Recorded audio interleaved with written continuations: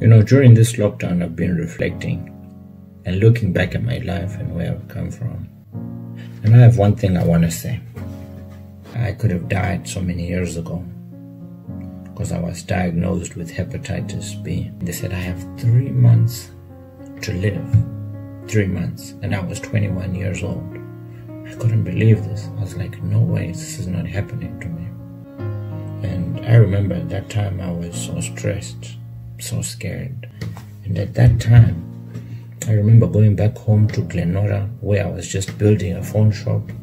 And then Murambatsvina happened, and then my phone shop was destroyed. And all things around me seemed to be crumbling.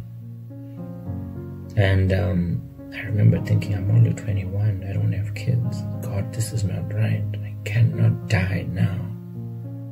I cannot die. And um, I went to the doctor the next day and they said, listen, we're going to try something. We want you to take glucose. But on Monday, we're going to try an antibiotic. You're still young. And then the doctor asked me, Do you pray? Do you go to church? And at that time, I never went to church. And um, he said, You know what? This weekend, go to church. Because we don't know what's going to happen. But just go to church. And then um, on that Sunday, I went to church.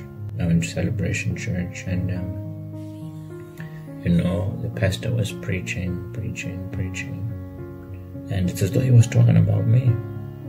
You know, you may be sick, but there's a healer, and his name is Jesus Christ. Don't leave this place without him. The service finished. I walked out of the service. When I was at the door, something told me, George, you're going to this thing tomorrow and you just go back and be prayed for, you lose nothing.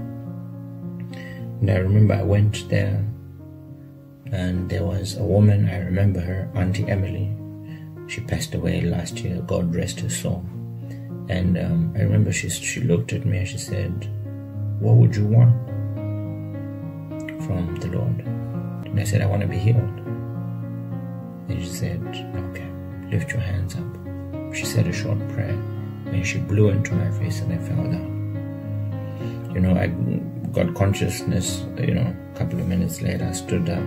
Then I was like, then she's like, you can go. Then I was like, is that it? I went, didn't feel anything. Went to the hospital Monday morning, went to the doctors, um, you know, got there. Then they said, okay, listen, before we perform anything to you before you go to the pharmacy to buy your medication. We just want to do one x ray and then we will conduct what the doctor said. They took an x ray of me, they compared my x ray to last week's one. They're like, wait a minute, there was a big hole here. There's a small little hole now. What happened? And, you know, very small hole, and they could not comprehend what had happened. And, you know, the big hole was a small hole, and by Wednesday, that hole had completely disappeared. And from that day on, I knew that what I did when I went to the altar and asked for my healing is what saved my life. I was saved by my Lord and Savior Jesus Christ. And that is the day I gave my life to the Lord. And ever since, I've never gone back. And it's amazing how that specific incident you know, came to mind today. I've come this far. It's been so many years down the line. That was 2005, a year after my mom died.